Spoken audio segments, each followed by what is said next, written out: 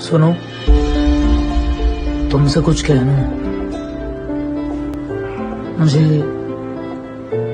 तुम्हारे दिल में रहना है। तू आती है सीने में, जब जब साँसें भरता हूँ। तेरे दिल की गलियों से मैं हर रोज गुजरता हूँ। हवा के जैसे चल